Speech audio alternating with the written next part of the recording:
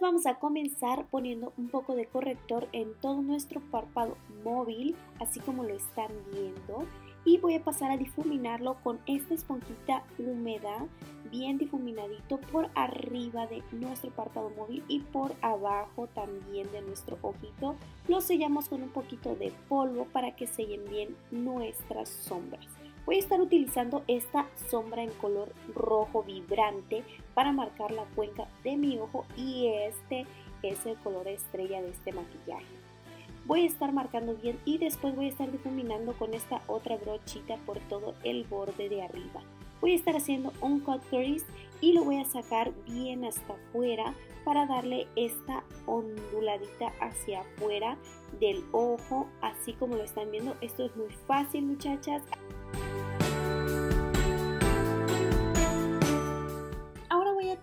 Esta sombra satinada en color perla. Y la voy a pasar por todo el cut crease que marcamos.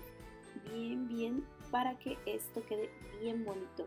Voy a estar utilizando esta brochita que está así bien durita y es de puntita para hacer un delineado en tono verde así como lo están viendo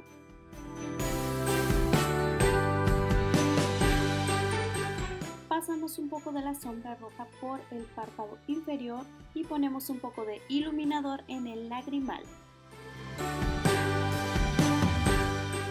Por supuesto también vamos a poner unas pestañas postizas y posteriormente pasamos a poner un poco de rímel o máscara de pestañas en nuestras pestañitas inferiores. Paso a preparar mi rostro, chicas. Voy a estar poniendo una base en tono mate y voy a estar la difuminando por todo mi rostro con esta esponjita y vamos a difuminar muy bien para que no queden residuos y esto se vea más natural.